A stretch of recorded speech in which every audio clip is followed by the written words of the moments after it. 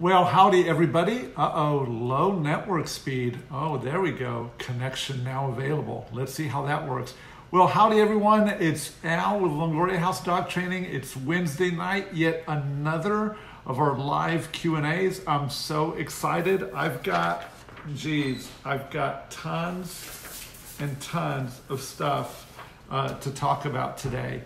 So I uh, hope you guys have, are having a good week. If you're not having a good week, hey, what can I do to be able to help you with your dogs? Or hey, do you need any kind of advice or anything like that? If you're watching this after the fact, hey, thanks so much for watching. Um, but really appreciate all of you guys. Um, if you don't know who I am, if you're just seeing my face and see who this strange guy is, uh, my name is Al Longoria. I am a dog trainer. Um, I live in Houston, Texas. Um, I've been a professional dog trainer. Mm, I think I've been a, professional dog trainer for about eight years now. Um, I've been training dogs for over 13 years.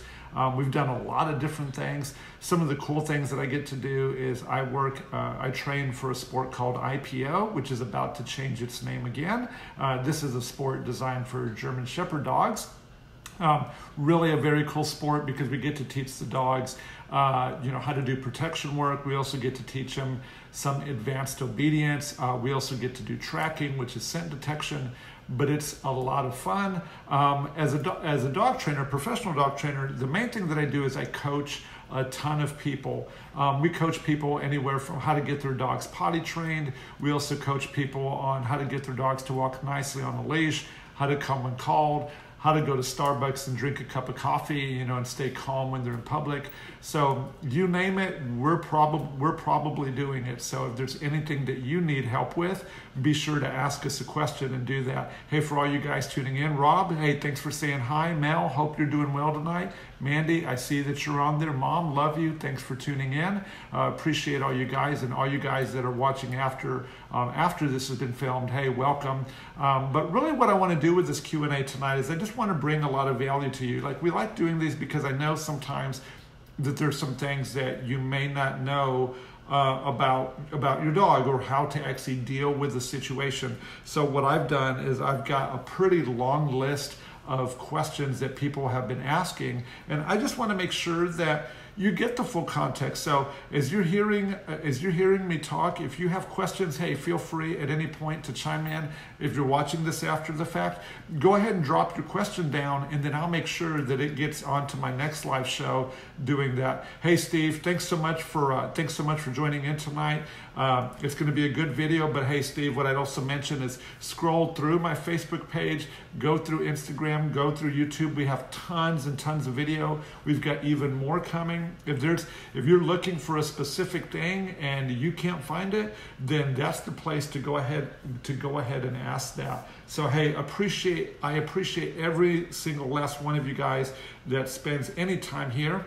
Um, if I can ask you to do anything, you'll see uh, two things. One, you're going to see that share button down in the corner. That means a lot to me when you share my content, okay? Because that's the lifeblood of how we actually get to, you know, my business operates based on word of mouth. When you hit share, that's like you telling your friends that, hey, this might be something that's useful or interesting. And then it's my job uh, to really provide some value for them. But the other thing that you can do is that every once in a while, you're going to see that Facebook is going to send a notification that, hey, you know, would you like to be alerted anytime that he goes live?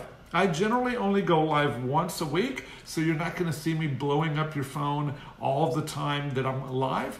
But go ahead and hit that, and then you'll get the notification that, hey, his live show is on, and then you can come and you can ask your questions. So I do appreciate all you guys that are joining in. It, it just really means the world to me. I'm humbled by the fact that you're even that you're even here. So if I can do anything to provide value. So I'm just going to check a couple of things because I want to make sure that on the technical side um, that everything that I'm talking about is actually being seen and I'm not missing any of y'all's questions, okay? All right, great. So I can see everything on my screen over here. I'm just to type the word hello real quick into the screen to make sure see what's coming out. All right, so it's coming out as me personally. All right, guys, so the very first question that I'd like to cover tonight is I do want to go over this question. How do I get my dog to stop shedding? So again, the question is, How do I get my dog to stop shedding? So there's a lot that goes to this, okay? But the very core of it is look, depending on what kind of dog you have, your dog is going to shed. There's no real way to actually stop a dog from shedding. Now, there are some breeds that are, you know, no shedding or very, very ultra light shedding breeds, okay? But in general, if you want to stop shedding totally, okay, there's not a, there's not an easy way to do it. So what are some of the things that I recommend that you can do to begin to help your dog maybe shed less? So here's tip number one to get your dog to actually shed less. One, don't shampoo your dog too often. I've ran into some people that are actually shampooing their dog maybe once a week or every few days because the dog is stinky or whatever it is. That's actually going to irritate your dog's coat quite a bit. So I never recommend really, uh, you know, showering your dog or bathing your dog with shampoo all that often. Now, for my German Shepherds, I'll be quite honest, I only really shampoo them maybe uh, maybe every four to six months. Okay, I do water rinse my dogs quite a bit to kind of wipe off all the dirt and the debris that's going to get into their coat. But the number one thing to to not get your dog to shed too much is to not over bathe the dog with shampoo. Okay, now beyond that, here are some other practical things. The big one that influences your dog's shedding is going to be the dog's nutrition. So if you don't already know, I want to show you two brands of food that we feed. Uh, this food right here is called Acana, and I really use Acana. Uh, it's a really, really wonderful whole food that you can use for your dog. Just to kind of give you an idea of what's in there, the ingredients read like a fine dining restaurant. It says deboned beef, deboned pork, beef meal, whole green peas, red lentils. Here, I'll move down the list. Uh, butternut squash, kale, spinach. There's virtually no chemical names anywhere in this bag of dog food.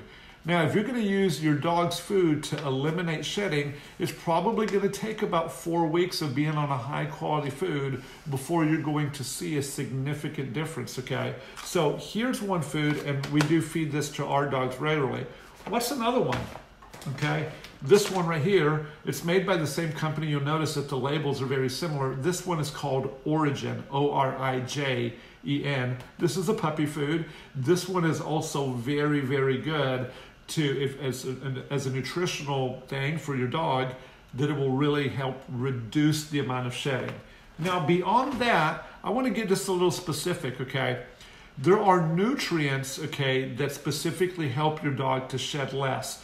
So, the one specific nutrient that's going to help your dog shed a lot less is an omega 3 fatty acid called DHA. And you can find DHA in sardines, in anchovies, in salmon. So, what I'd like to recommend to you guys is this bottle right here that we use for our dogs that I supplement not all the time, but from time to time. And so, this is Iceland Pure uh, pharmaceutical grade sardine and anchovy oil. Um, the reason that I like this one, there's several reasons. One is that it doesn't stink. Like when you put the fish oil into the dog's food, it doesn't smell extremely fishy. So this is another one.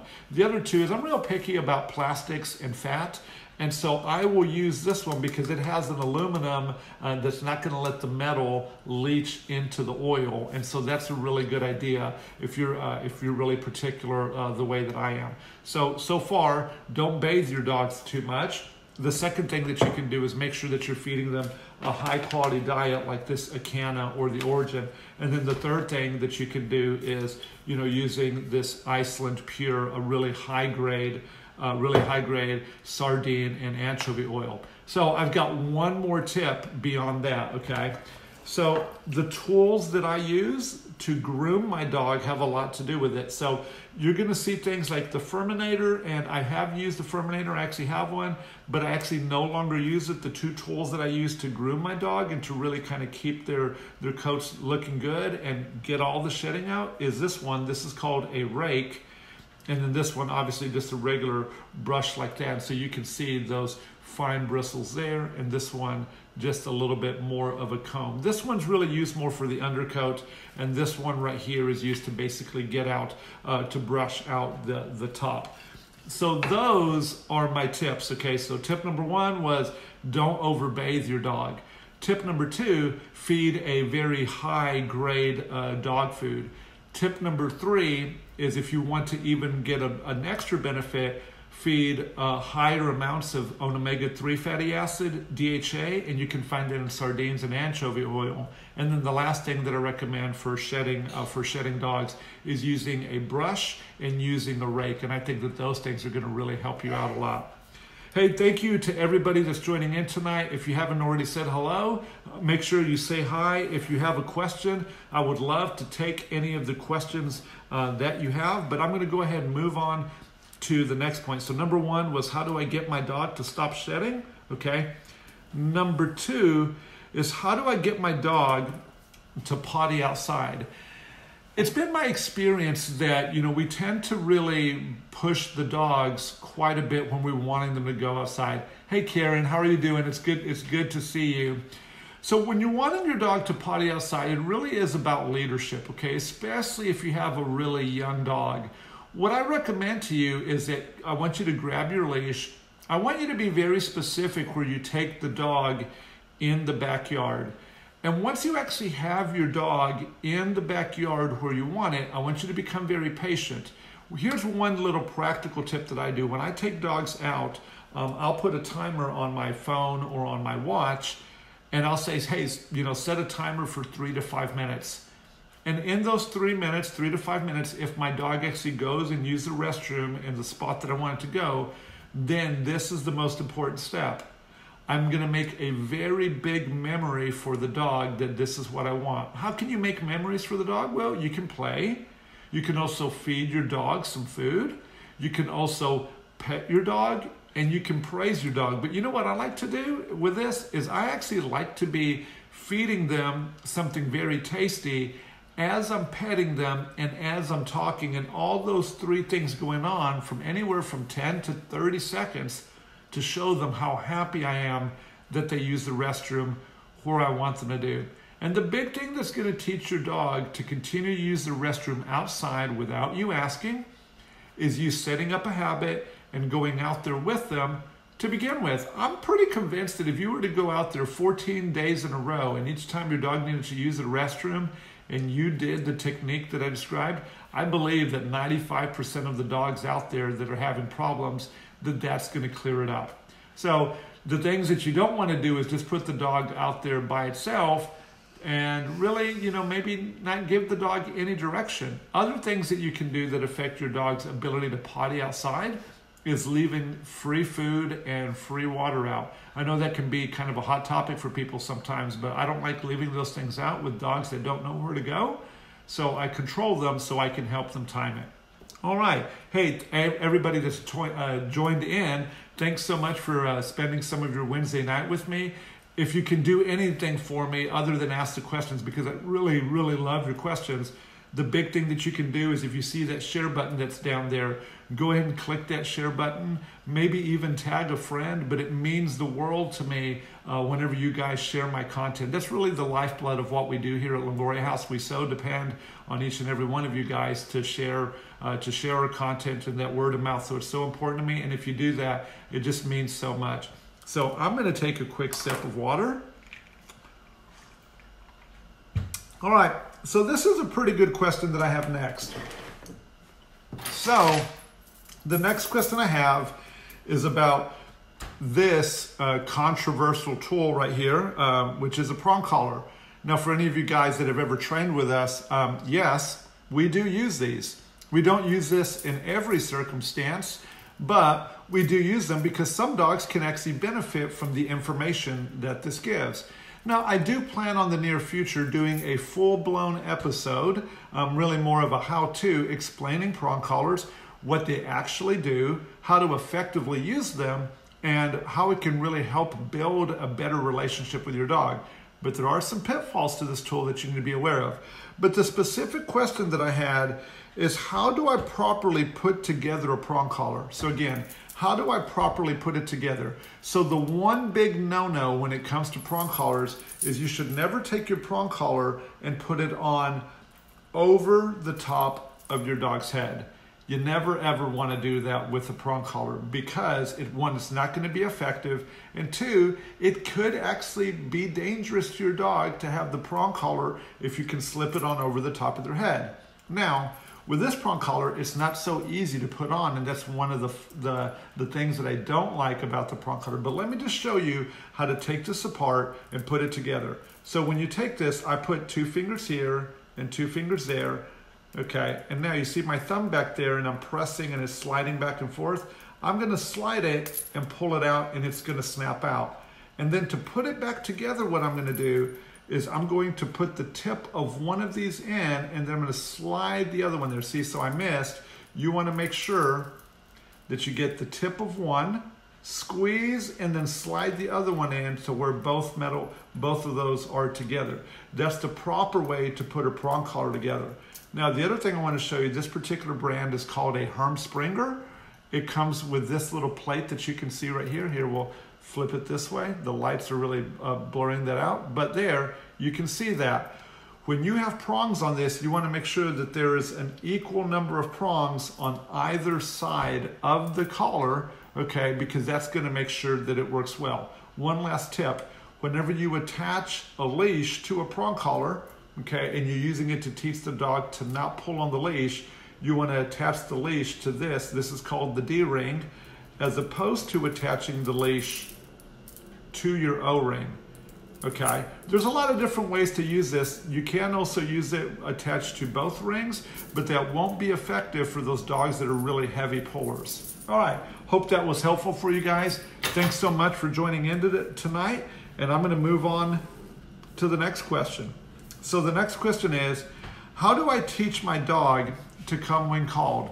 So I, when I'm training with clients, and I'm actually, they're going through our five or six week program that's going to cover leash walking, that's going to cover coming when called, that's going to cover stays. I actually begin the process of teaching the dog how to come when called when they're doing their stays. So let me just make it very, very simple a technique that you can do if you have a brand new puppy and you're beginning to show the dog the meaning of its name. So, tip number one I actually want you to not use the dog's name unless you're doing what I'm about to say next. So, when you first get a puppy and you want to say their name, I think that you should bring food to their mouth. And at the moment that you open their ha- your hand and the puppy begins to gobble up the food, that's the moment that I want you to say the dog's name for at least a week. Okay, now people are like, well, how do I get the dog's attention? Well, I want you to actually call your puppy something else. One of the things that we do that's really worked for me is we actually call our dogs like puppy girl or buddy or something like that. If I want to talk, if I want to use a name that isn't going to be like a critical thing that I need you to turn around and come back. So one, use this kind of common name, puppy girl, chunky monkey, buddy, something like that. Okay, that's not critical. But then for a week or two, the only time that you actually say the name of your dog when you want to teach it to come when called is at the moment that you're opening your hand and they're beginning to consume food. So that's step one. I do have plenty of videos here on my Facebook page if you're wondering how to teach your dog how to come when called that can actually work you through the treat toss game. And the treat toss game is a really wonderful foundational game that can begin to make the association to your dog that when I hear my when I hear them my name, I should perform a 180 degree turn. Okay? Well, hope that's helpful for you guys. Hey, thanks so much for joining in. Oh, I see my brother joined in. Hey, brother, good to see you. Hope you had a good day, man. All right, so so far we've covered how do I get my dog to stop shedding. I've also covered how do I get my dog to potty outside. We've gone over how do I properly put together a prong collar. And then the next one was how do I teach my dog to come when called. And I gave you my number one tip uh, for associating your puppy's name. Hey, brother. All right, so what's next? How do I teach my dog not to jump? This is one of the most common ones that the one, most common ones that I get. So jumping really is a problem, but let me just kind of describe a couple of things for you about jumping. So if you think about two and three week old puppies and four week old puppies, the main thing that those guys are doing when they're, you know, with their litter mates is that they're playing. And jumping, believe it or not, is a form of play for the dog. This is actually how they greet each other, and it's instinctive for the dog to do this. And so a lot of dogs, a lot of dogs continue to do that with their uh, with their humans um, once they've come into the home. Let me give you some techniques that absolutely are one they might work, but they're really really impractical. So this is uh, this is technique number one that I would never use if your dog is jumping on you. So the number one thing that I would not do is that when your dog jumps on you, do not turn your back to your dog. Tip number two, okay, alongside with don't turn your back to the dog when they're jumping on you, is don't step away from the dog. So the dog's on if the dog is jumping on you, you turn your back and you take a step away, that's actually going to tell your dog to jump on you again. That's right. If you turn away from your dog and move away, that's actually communicating to your dog, I would like for you to jump on me again. Now, if you've ever been in someone's personal space, I know that when I'm standing, if somebody's shoulder to shoulder with me, I don't really feel them in my personal space, maybe a little bit. But if somebody was to turn around and to be right in front of me and they were taller than me, then my tendency would be to back away. So if your dog jumps on you, the first thing that I actually want you to do is to actually step towards your dog. Okay, and that's to kind of turn the table you you got to realize that when your dog is jumping on you, it is most likely a form of play. But you're going to go on defense if you move away, and that's going to tell your dog to continue to offend your space. So if your dog jumps on you, first step into them. Okay? Now, there are some other things, but I'm going to get right to the point here. If your dog is continually jumping on you and you've done everything to try to communicate to them, it is okay to tell your dog no and then to use your training leash to put some pressure on your dog and ask them to back off. And it shouldn't necessarily be gentle, okay? But I want you to be patient with your dog as you're trying to show them that you don't want you that you don't want them jumping on you, okay? But the quick and easy way to, to change any kind of jumping is the dog jumps and then creating some kind of emotion that tells the dog that this is unwanted. This is how, you know, other dogs will treat each other when they actually go over the boundaries of what they're supposed to do. The other dog will use pressure, okay, their teeth.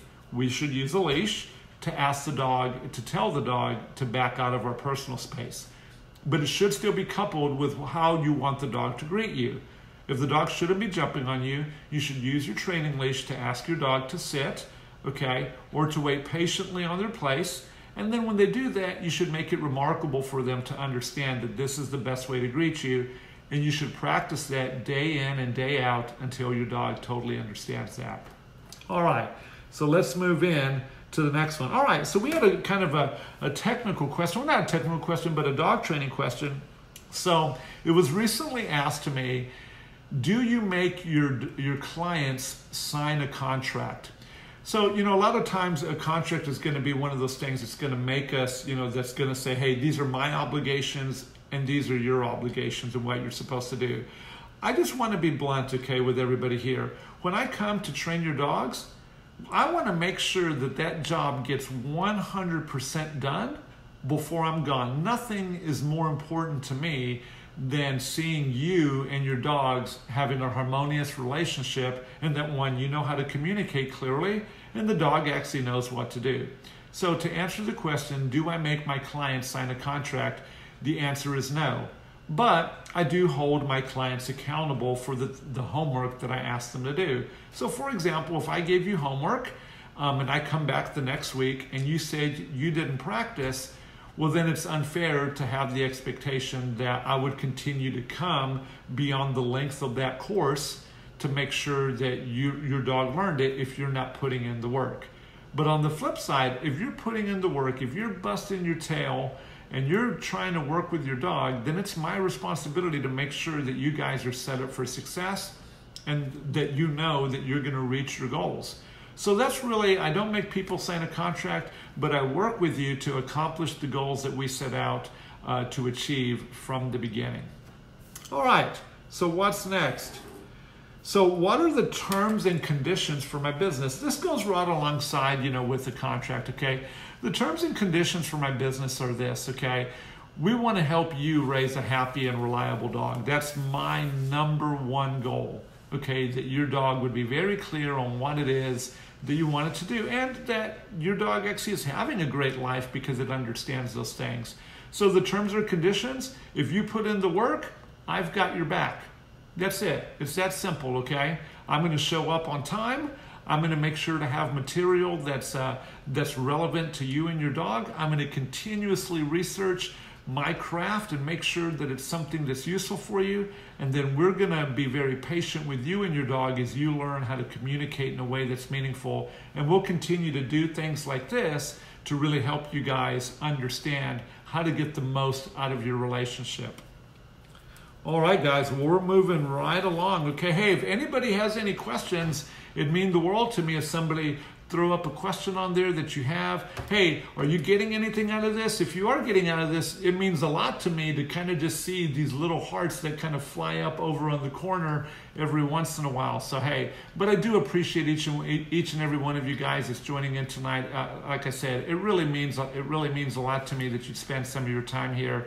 But it also means a lot to me if you go over there and you hit that share button and uh, tell your friends about what we're doing here. So that means a lot to me. All right. So, oh man, this is a really great question. So, how is body language important?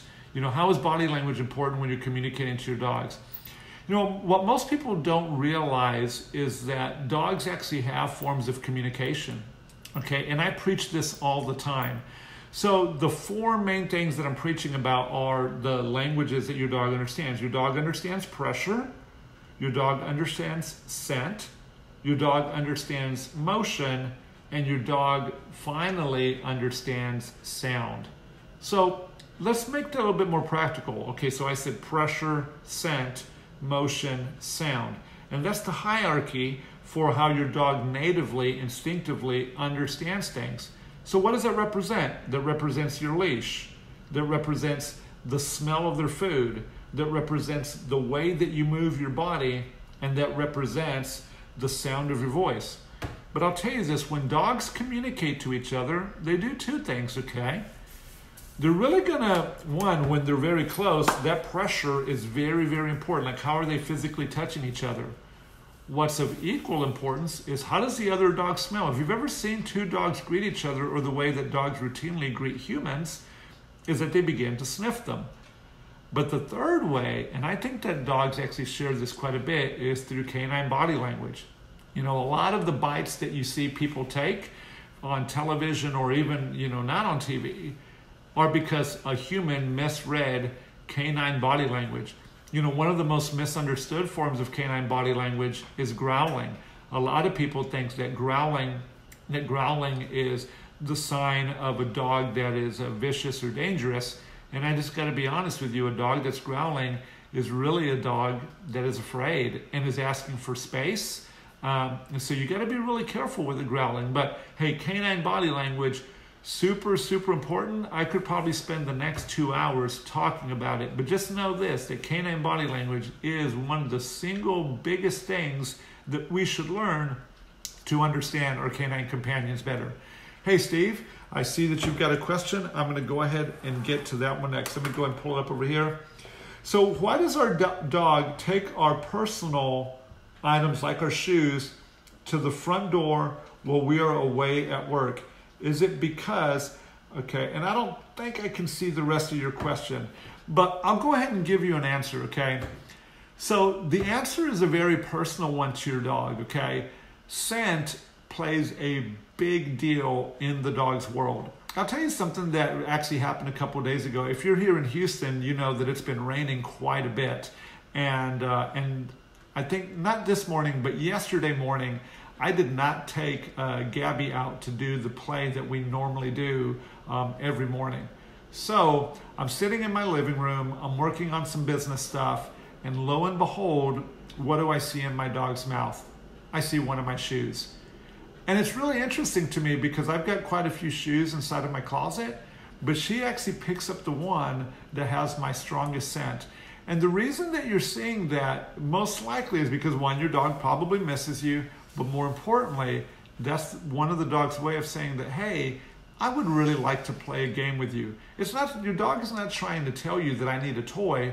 It's saying that hey, I really love spending time together with you and how can we play? If your dog has one of your shoes, I would recommend to not discipline your dog, but really look at like, hey, am I really spending enough personal time playing an interactive game with my dog? Let me just make a recommendation, okay? One of the things and one of the toys that we recommend to dogs is I really love this toy right here. This is a, you know, this is a very simple ball and a string.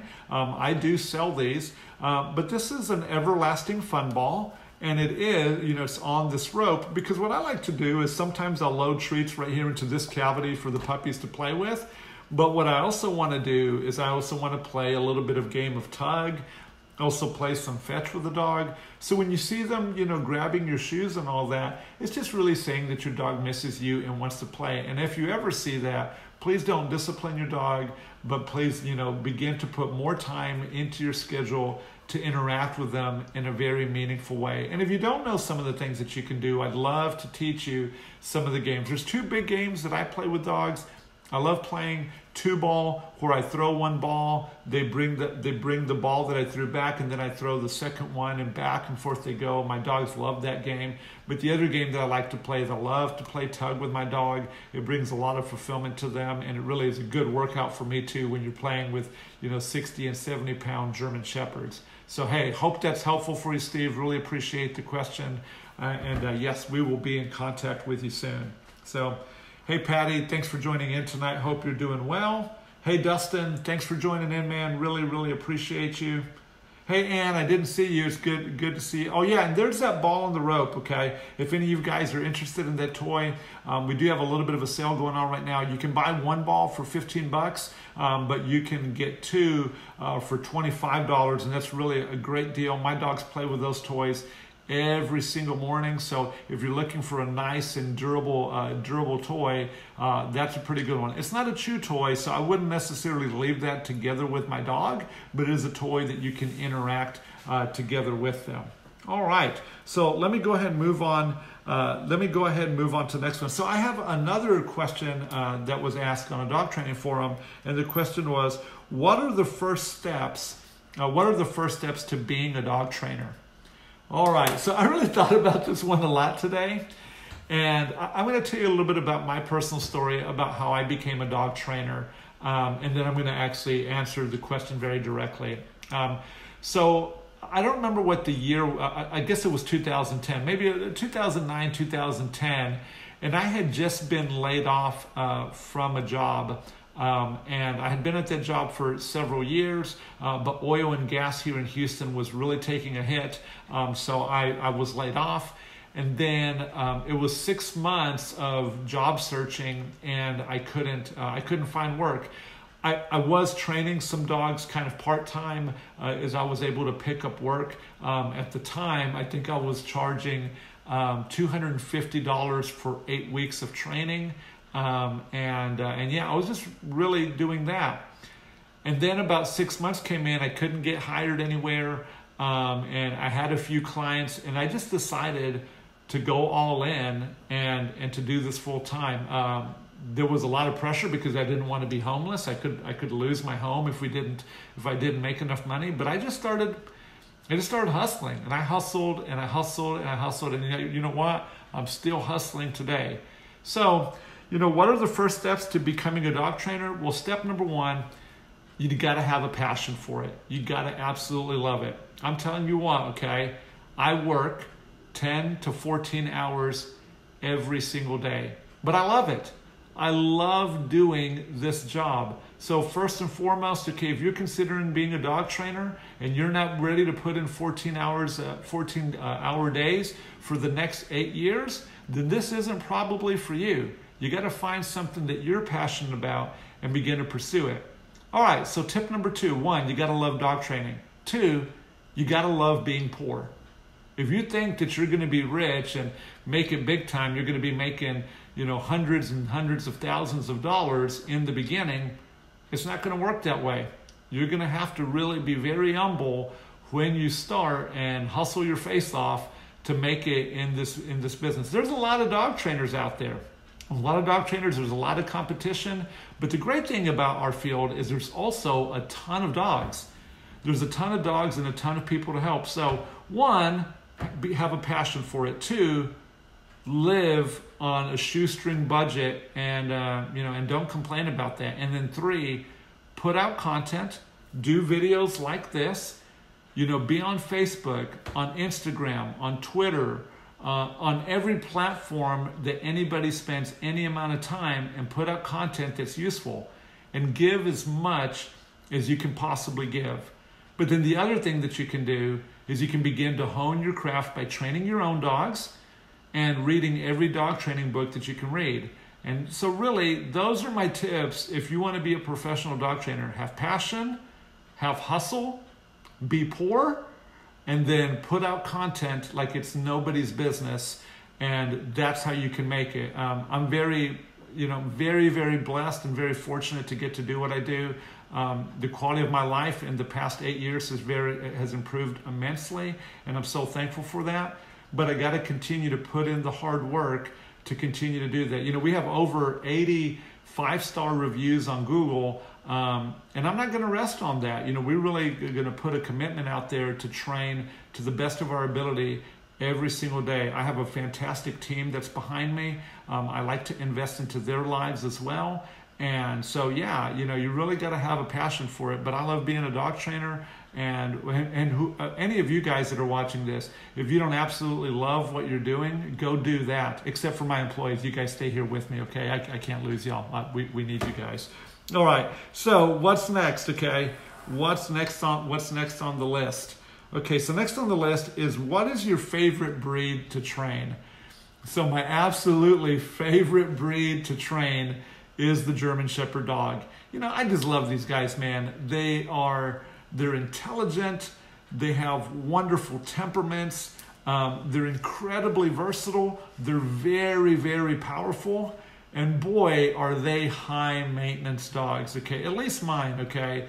You know, Fritz, he's getting a little bit older. He's here by my side right now. Um, he's, uh, he's pretty easy to, to get along with. Uh, but my younger dog, Gabriella, Gabby, oh boy, is she something else, man. If you, you just, you know, you just have to be practicing and training and, and they need you. The, the, German, the German Shepherd really, really needs an owner that is all over it. So between my business and my personal life and training with my dogs, it takes up all of my time. But they're really fantastic dogs. Love the breed so much. Okay. But one thing that I will mention is I'm not all that pleased that it's the number two breed. I think they're overbred. I, really do. I think that they're a little that the, when you look at the scope of the breed, that they're a little bit watered down. No, they're not a little bit watered down. They're a lot watered down. There's so many German shepherds that are being bred that don't have any business being bred. Okay, and really, you know, I think that a German Shepherd is a very unique dog um, that we should we should treasure the breed. But I absolutely love working with them. They have a lot of intelligence, a lot of power, and uh, it's just a great family dog when uh, when you put the work into that dog. It's just like anything else. If you want if you want your dog to be great, then you got to put a lot of work into it. So hopefully that is helpful for you guys. Okay, so. Um, all right, this was a pretty interesting question. I've never really gotten this one, and I see Charles. Hey, Charles, thanks so much for joining in. And hey, man, if you want to chime in on this next question, um, I would really appreciate it. So, if you have any context to add. So, the question is How do Dobermans and Wheaten Terriers compare? Boy, could these two breeds be any different?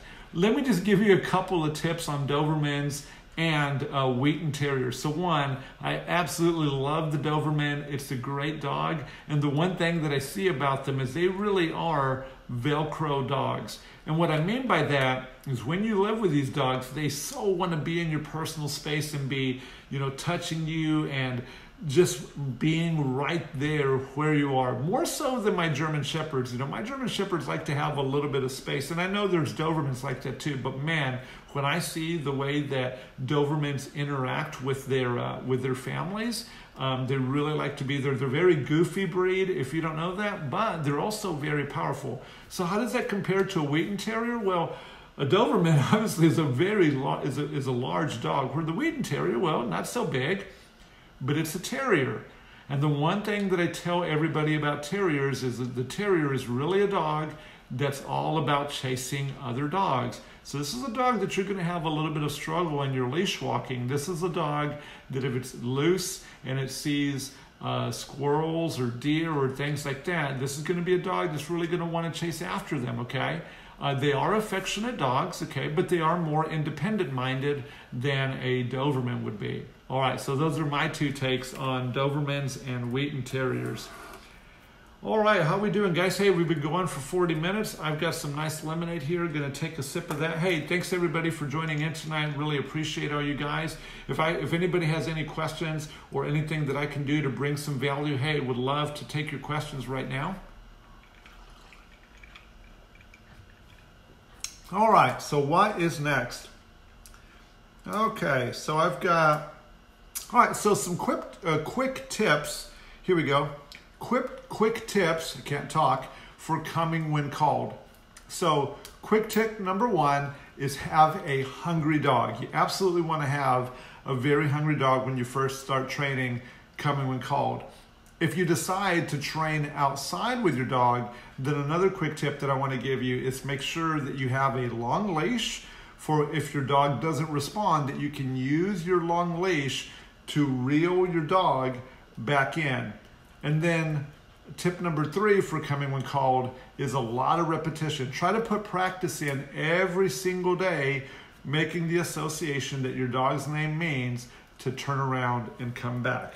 All right, so how do you help a dog overcome fear? Okay, this is a bigger picture, but it's all in the lifestyle, okay? Now, some dogs genetically are pretty weak, okay? They're gonna be weak and they're gonna be more prone to fearful states of mind, okay? But the big thing is, is the lifestyle that you're living with a dog. The number one way that I feel that you can actually help a dog overcome fear is by teaching them a skill like stay and show them how rewarding it can be to do that, okay? But also setting up effective boundaries. What I think that happens with fear is that a dog, when, when anybody senses fear, when any kind of creature, emotional creature senses fear, then they began they begin to run away. And then when they get far enough from the fearful thing they can relax and and do that. But one of the things that we want to show them is where do we want you to run to? And even in the face of fear that hey i'm right here with you i'm right by your side and that you can rest in my power to understand that it's going to be safe. And then once they actually begin to relax to make associations that this thing that's causing you fear and anxiety that if you actually relax will show you that it's actually not that bad of a thing and that it can actually begin to you can get rewarded in its presence. Now one thing i'll talk about fearful dogs when you're trying to use food or treats for them is that it doesn't work. Any of us can actually relate to this. If you've ever been nervous or really adrenalized you don't eat particularly well in those situations so when you have a fearful dog and you're actually trying to offer them food, it doesn't really work the way that it would if they were in a calmer state of mind or if they were focused on obtaining the food. The one tool that actually does work particularly well for calming a dog is a leash because a leash applies pressure and pressure does have a bigger calming effect than food does. So when you're overcoming fear, it's really about the lifestyle practicing with your dog, showing them showing them how to earn reward, but more importantly, using your leash to help them to begin to become calm. All right, so I've got a few more topics. Thank you to everybody that's joining in tonight. Really appreciate you guys. All right, so how does being, uh, oh, okay. So how does being intact uh, affect your dogs coming when called? It's interesting that I've seen this with Fritz and Gabby. When Fritz was still intact, if Fritz was in the backyard and let's say that Gabby was in season, if Fritz went over to where Gabby had just used uh, the restroom and he was sniffing that, it was very difficult to get my dog uh, to come back. One of the things that I like to do in my training is I like to actually train my dogs with my equipment on them when in season females are around so that way they can understand that you still got to listen. So an intact dog definitely definitely is going to be affected um, by females that are in season, but I don't think that it's all that insurmountable to teach the dog that they still have to come, even though this very powerful scent is in the uh, is in the environment. Um, but one thing that I'll mention, okay, if you're considering if you're considering neutering your dog, neutering your dog prior to uh, I think about you know six to eight months will eliminate the, these secondary sex characteristics. But I never ever recommend neutering your dog at this age. As a matter of fact, I'll tell you my recommendation is if you're considering neutering your dog and trying to change this behavior, is one, do more training, and please, I would recommend not to neuter your dog or to have the conversation with your veterinarian until they're approximately two years of age. There is a little bit more to this issue that I can go into at a later time, but dogs that are intact and, and if they're very young, I don't believe that we should neuter them. Uh, we should neuter them all that early. That we should actually train them on teach them how to deal with the distraction of in-season females as opposed to removing organs to deal with that. All right, so I do have one more, I do have one more thing on my list that I do want to cover tonight. Okay, and so the last thing is, or what are some of your favorite muzzle games? So a muzzle, you know, a lot of times in our society is kind of looked at as something that's actually a little bit scary, um, and dogs that are wearing them that they should be avoided.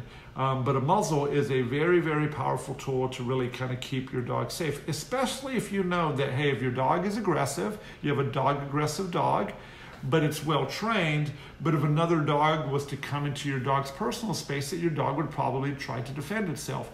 So muzzle is a really good way to defend your dog against other dogs that come in and other people that come in and invade your dog's space, especially without your permission.